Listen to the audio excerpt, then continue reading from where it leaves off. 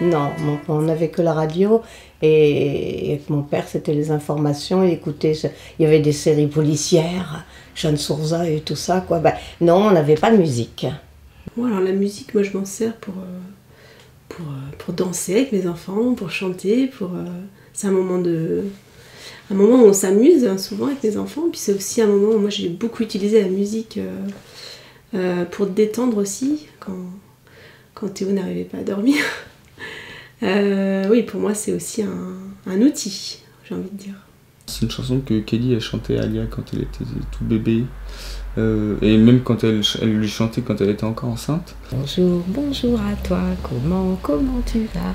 Et c'est ce que j'ai chanté à ma fille Elisa quand elle arrivait. On l'avait beaucoup écouté avec Titouan et je fais ça parce que je l'ai accueillie comme ça.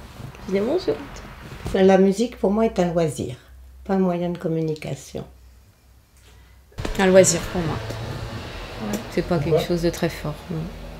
Ah non, c'est un moyen de communiquer, de faire passer des émotions, de faire passer des messages, de... C'est un loisir aussi, de faire de la musique juste pour, euh, juste pour se, se, se- se ressourcer, se- s'apaiser. La musique c'est aussi un moyen de communication. Ouais, ouais, complètement.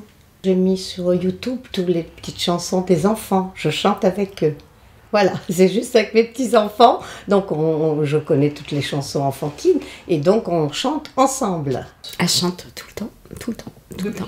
Tout le temps, elle a tout le temps chanté. C'est une chanteuse. Je pense vraiment que c'est une chanteuse. Elle fait tout en musique, elle retient les paroles de chansons tout de suite. Elle a un grand plaisir, alors qu'elle est timide, de monter sur scène s'il faut chanter. Elle y va.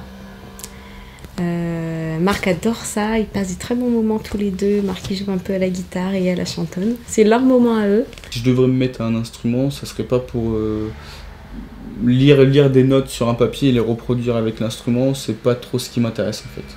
C'est plus euh, comment se servir de l'instrument. euh. moi j'aime bien prendre un instrument quelconque et, et en jouer, mais autrement. Par exemple, une guitare, au lieu de jouer avec les cordes, on peut la retourner, taper dessus. voilà. Ils essaient de faire des essais avec la guitare et, euh, et oui, bon, ils ont leur petite guitare à eux, donc euh, ça, ça rend pas aussi bien euh, que la vraie, mais oui, oui, ils essayent. Ils essayent. Il y a le petit, si, ils ont un petit piano aussi. on a des petits concertos assez sonores. Et c'est eux qui choisissent la chanson, quoi. Que ce soit Jeanne ou Elias, ils choisissent et on chante. Non. D'un seul coup, j'ai un blocage, c'est ça, c'est quand, quand on me. et J'ai pas préparé une chanson. bah oui, pourtant, on en chante beaucoup, hein, de chansons de, de- pour les enfants. Et puis, alors, euh, alors là, il n'y a rien qui vient. Il y avait des gros crocodiles et des orangs-outans, des affreux reptiles et des gros moutons blancs. Non. non. T'es pas obligé de danser. Des chats, des rats, des éléphants, et la plus mignonne de toutes les bêtes à cornes, c'était la licorne. Ferme les yeux et laisse les étoiles s'accrocher à tes doigts comme des papillons.